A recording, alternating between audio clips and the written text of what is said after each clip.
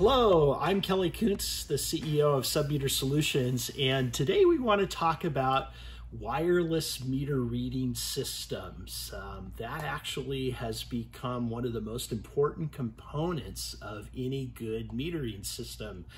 And so we wanted to um, just share some of the specifics about how meter the wireless systems work, how they integrate with meters, and what you can expect. So I've got some samples today and we'll just kind of walk through this. Um, I guess the first thing to mention about these wireless meter reading systems is that uh, this is not um, new technology. It's been around 30 years in this uh, industry. It's very mature.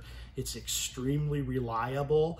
So a lot of times when you hear wireless, you go, we don't want anything to do with that. But no, this is really quite sound and very reliable. And uh, what I've got in my hand here is a typical water meter that we use in submetering. This one is designed for like an apartment building.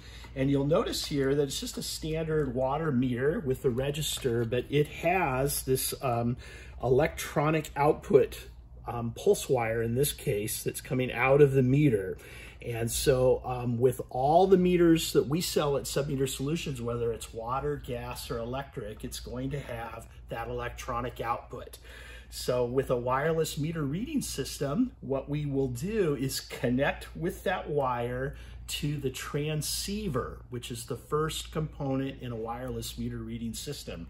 So let me tell you a little more about this transceiver. Um, it is battery powered. It's got a lithium battery that's got a seven to 10 year life on it. So it's not something that's gonna die and or need to be replaced anytime soon. Um, and the, the transceiver talks both directions. It, it is um, a low power wireless system um, according to the FCC. So it, it, it, meets all of the standards um, that the government puts out for these types of systems. And a lot of times we get asked, well, is it Wi-Fi? Is it Zigbee? No, it's none of that. It's a proprietary 900 megahertz wireless signal.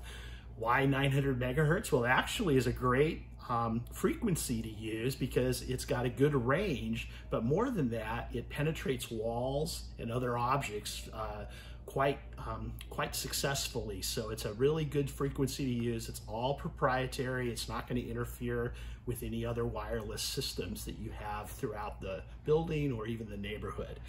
Um, the transceiver then uh, is attached to every single meter. And think about that. That means that uh, that water meter or electric or gas meter can be installed anywhere in the property. That could be under in the basement. It could be next to the hot water heater where the connections are the most convenient. No one ever has to get eyeballs on the meter itself. You can um, bury this in the ceiling. Um, you only need to be able to access it um, if it needs to be serviced or the battery needs to be changed in a few years. So that signal is going to send its uh, send its signal back. The transceiver is going to send a signal back to the um, system gateway. And this is going to be installed one place on the property. And this gateway is going to require um, just a standard wall outlet to power it.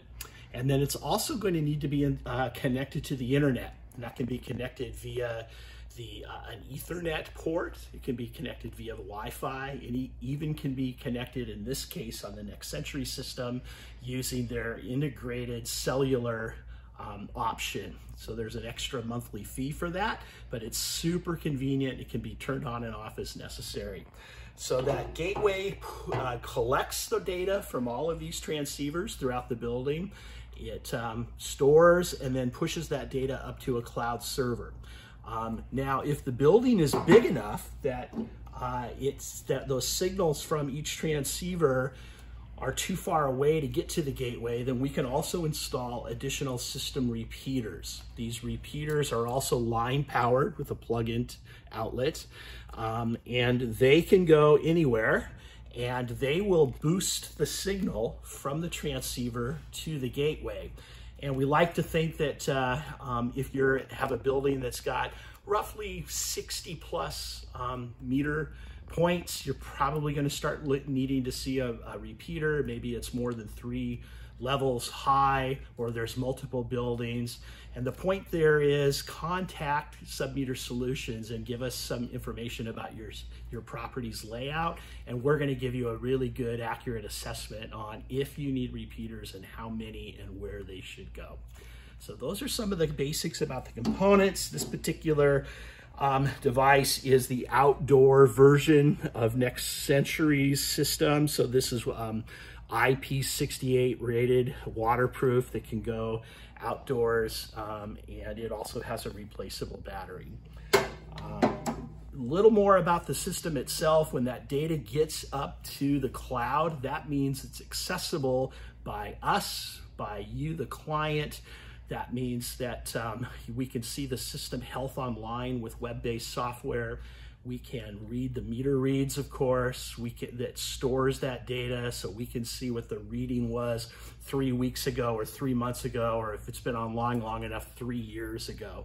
Um, lots of data there. The system alerts tell us uh, very practical things like suspected leakage if you have a toilet flapper that's running, a low battery alert, low usage. There's a lot of other uh, really, really helpful alerts that the system offers as well. So that's a little bit about wireless systems for meters. We um, have literally installed since 2008 thousands of these. And so we understand them very well. We're highlighting Next Century today, but we've got other products. We are experts at looking at your um, property unique situation, and we're going to build out and um, suggest for you the exact right equipment that's going to work the best for you. So give us a call, contact us, let some of our sales team put together a proposal that fits your property exactly. Thank you.